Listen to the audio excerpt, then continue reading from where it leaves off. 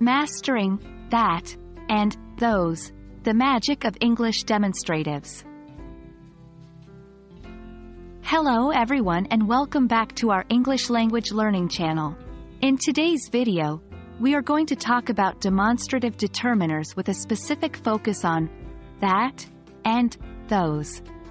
These words are used to refer to distant objects in the English language, and mastering them can add a new layer of clarity and precision to your speech and writing.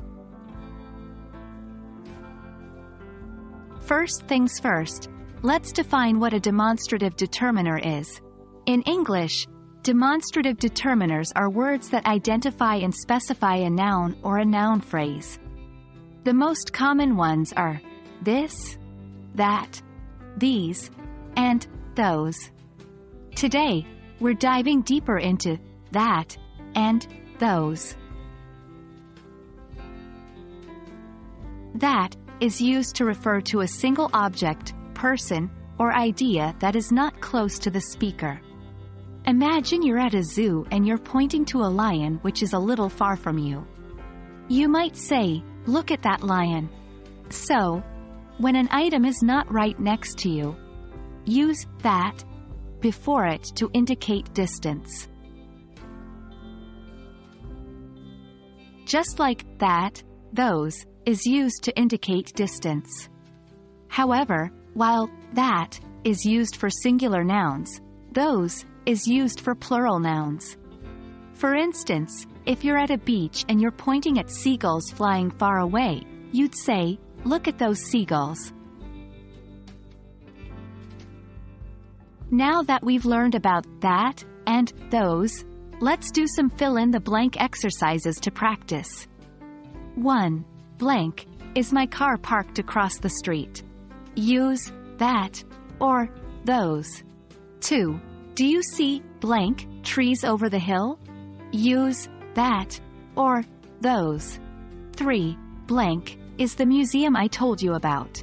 It's just down the road. Use that or those. 4. I think blank are your keys on the table over there. Use that or those. Pause the video here, attempt the exercises, and then resume to check your answers.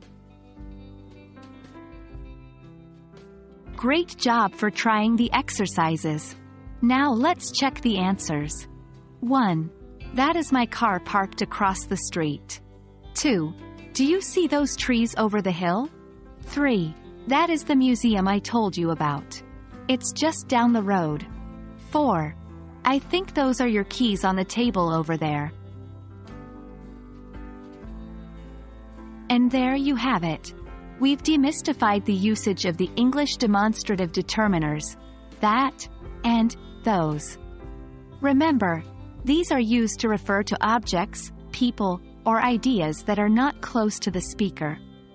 Keep practicing with more examples and soon, it'll become second nature to you.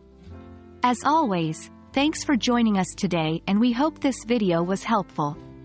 Until next time, happy learning!